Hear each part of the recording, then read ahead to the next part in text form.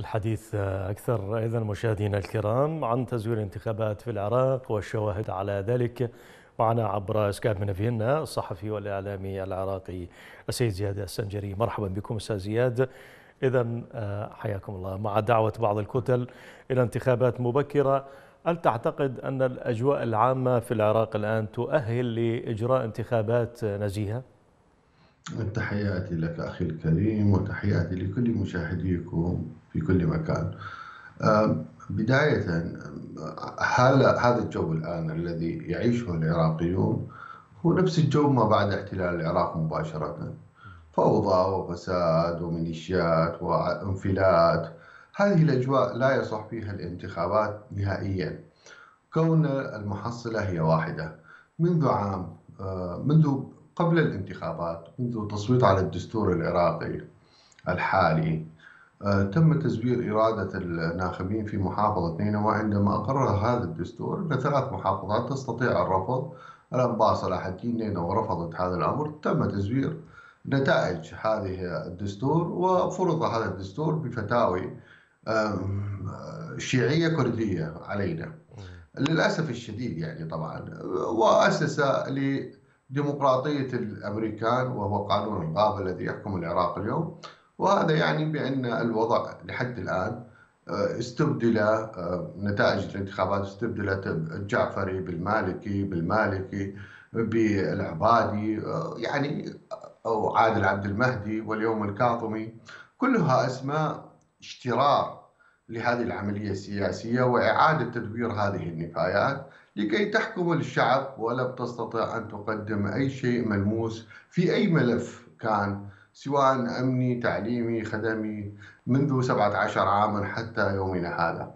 فكيف يمكن أن تكون الأجواء مناسبة سيد الفاضل؟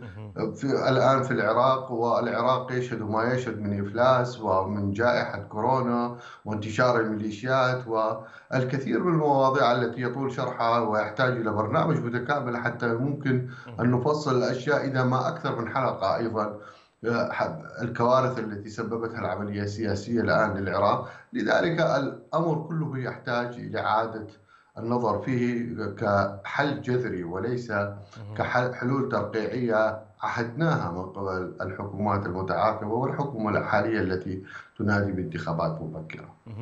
أه، حتى المتظاهرون من أجل ذلك أكدوا أه، عدم قبولهم بأي انتخابات تفصل على أه، مقاس هذه الأحزاب نفسها منذ عام 2003 ولكن البعض يدعو إلى السماح بإشراف دولي على هذه الانتخابات المقرر إقامتها. ما الفائدة أستاذ زياد؟ حتى لو كان إشراف دولي إذا كانت الوجوه نفسها نفس الأحزاب يعني. يعني سأخذ مثال. اليوم كل العراقيين بشيعتهم قبل سنتهم يقولون بأن حنافة تلاوي يعني نائبة بالبرلمان وهي للأسف تطرح نهج طائفي وهي نظرية سبعة في سبعة. عندما حدثت انتخابات تم استبدال استبدالها بوجه عباس. أي انتخابات هذه التي تستبدل حنان الفتلاوي بوجه عباس؟ اليوم لدينا مشكلة سيدي الفاضل في آه، فكرة الانتخابات آلية الانتخابات آه، جوهر هذه الانتخابات نتائج هذه الانتخابات. اليوم آه، الذي سيفوز في هذه الظروف هو من المجلس الأعلى ومن حزب الدعوة ومن بعض الأحزاب السنية الملوثة بالأموال الخليجية وضغوطات بسيطة تركية وأموال سعودية وقطرية وإلى آخره من أموال تصب في المحصلة النهائية في آه، جيوب الطبقة السياسية الفاسدة وآخر المتضررين هم العراقيين الذين تضرروا من آه، إيران التي تلعب بمقدرات كل الشعب العراقي بنفوذها واستغلالها للوضع العام وهي من تقرر من يفوز. كذلك حتى الأحزاب الكردية. الكل متورط بطريقة بأخرى وينتظر دوره في الانتخابات حتى يحصل على راتب تقاعدي إلا ربما قسم من هؤلاء آه، يعني خدم كمشرع في البرلمان العراقي لمدة أشهر بسيطة واليوم يتقاضى رئيس الجمهورية غازي الياور يتقاضى مئات الملايين آلاف الملايين وتسلم فترة قصيرة جدا وهو محسوب على مكون نحن براء منه والحقيقة وكل الناس براء من هذه الطبقة السياسية. أعطني برلمان عراقي.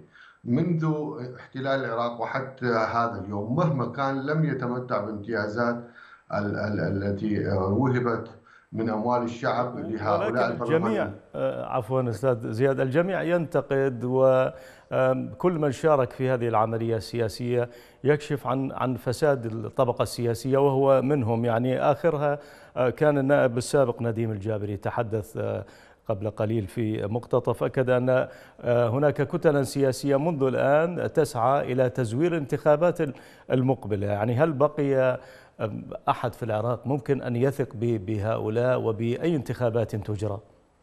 ونديم الجابري لماذا طارق الهاشمي كذلك نائب رئيس الجمهورية. وهناك أعضاء برلمانيين آه، بالبرلمان العراقي في دورات سابقة. أيضا ذكروا مسألة الأعرج أيضا ذكر وهو التيار الصدري وهو انشق عن التيار الصدري اليوم بطريقة أو أخرى تكلم مطولا عن تزوير الانتخابات. نحن في بلد الوحيد في العالم الذي تتأخر نتائج الانتخابات حتى يتم المفاوضات بين الكتل السياسية على المقاعد. نحن الدولة الوحيدة في العالم. 17 عاما وإمكانيات وأموال هائلة. لم تستطع هذه الحكومات أن تحسم نتائج الانتخابات خلال 24 ساعة و 48 ساعة مثل بقية دول العالم. لا يوجد جهاز إذا إلا واشترته مفوضية الانتخابات.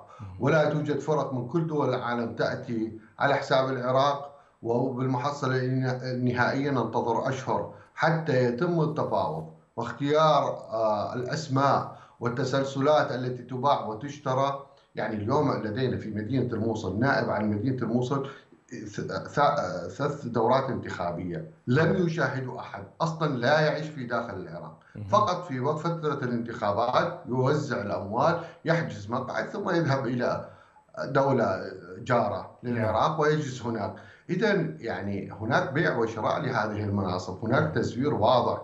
هناك عملية الحقيقة مصادرة إرادة الشعب العراقي ويجب حل هذه المسألة جذريا.